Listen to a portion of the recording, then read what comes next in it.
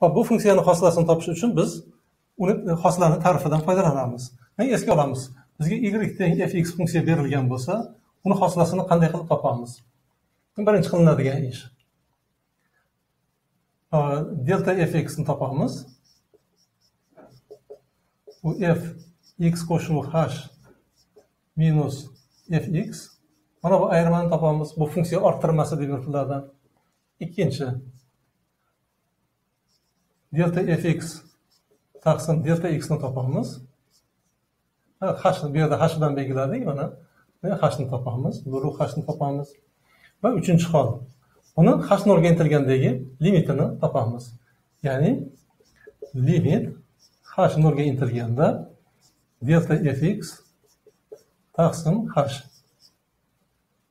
Agar shu limit mavjud bo'lsa u holda u funksiyaning xossasi deyilardi va u mana bunday belgilanardi. Va mana shu ta'rifidan foydalanamiz. Va bu yerda modul kelganligi uchun kelinglar biz e, uchta holni qaraylik. Birinchi hol x musbat bo'lsin. Bu holda modul x x ga teng bo'ladi. Shu sababli berilgan funksiya y teng. X qo'shuv x teng ikki x ga teng bo'ladi. Buni hosilasini ola olamiz. Hosilasi y shtrix teng ikkiga demak agar x musbat bo'lsa berilgan funksiyani hosilasi ikkiga teng ekan ikkinchi hol x manfiy bo'lsin bu holda berilgan bu holda modul x minus x ga teng bo'ladi va berilgan funksiya x qo'shuv minus x bo'ladi bu nolga teng nolni hosilasi nol funksiyani hosilasi nolga teng y shtrix teng nolga. E bu holda hosila nolga teng ekan e, birinchi holda agar noldan katta bo'lsa x hosila ikkiga teng x noldan kichik bo'lsa hosila nolga teng. Hop endi uchinchi hol. X nolga teng bo'lsachi y shtrix nimaga teng bo'ladi? Mana shuni topamiz. Buning uchun mana biz hosilani ta'rifidan foydalanamiz. Bu yerda x nolga teng x nolga nol qo'yamiz. Demak birinchisi delta delta fx bu teng demak fx plus h x nolga teng x ni o'rniga biz nol qo'shib hni qo'yamiz x nolga teng biz, biz qarayotgan holda demak nol qo'shuv h plus modul nol qo'shuv h minus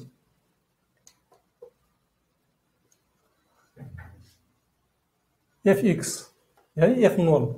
Ya'ni x o'rniga nol qo'yamiz. Nol. Plyus modul nol. Teng. Nol. Mana bu yerda h qo'shuv modul h mana bu ifodani hosil qilamiz. Endi mana bu bo'linmani e, nisbatni topamiz. Birinchi ish. Demak biz funksiyani orttirmasini topdik. Qayerdagi orttirmasini nol nuqtadagi funksiyani orttirmasini topdik. Endi delta fx delta f0 va f0 delta f0 ni topdik delta f0 buruq h teng h qo'shuv modul h taqsim h teng. H ni h ga bo'lsak bir qo'shuv modul h taqsim h. Mana buni hosil qilamiz.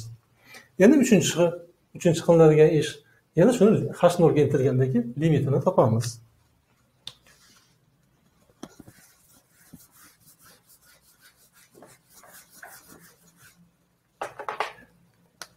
Limit hop uchinchi ish.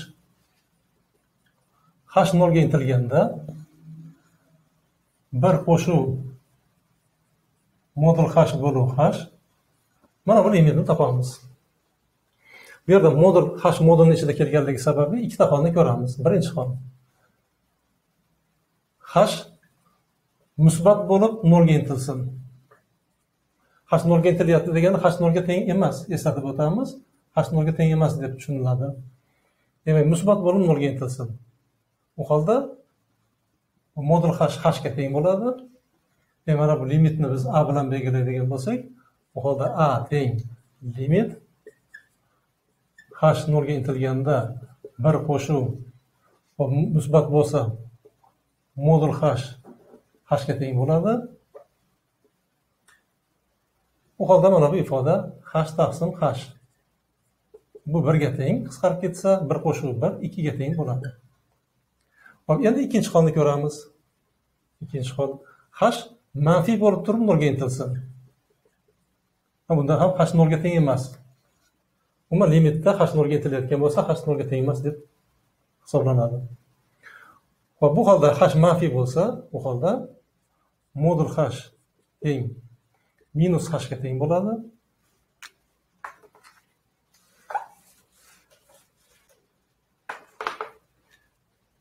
u holda a teng bo'ladi limit.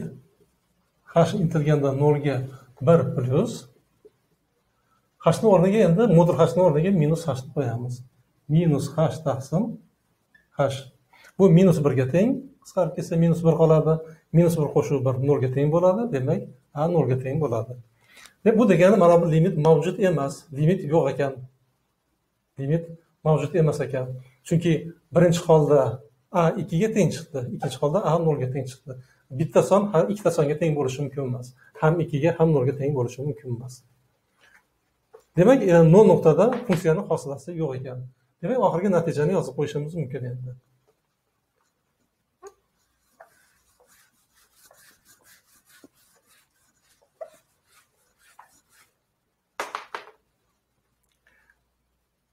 Funksiyani hosilasi ikkiga teng. Agar x noldan katta bo'lsa.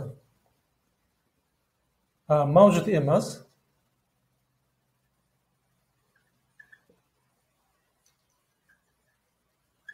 Agar x nolga teng bo'lsa. Mana bu holda nolga teng. Agar x nolga teng. Noldan kichik bo'lsa. Shunday qilib mana bu funksiyaning hosilasi uchun biz quyidagi ma'lumotni oldik.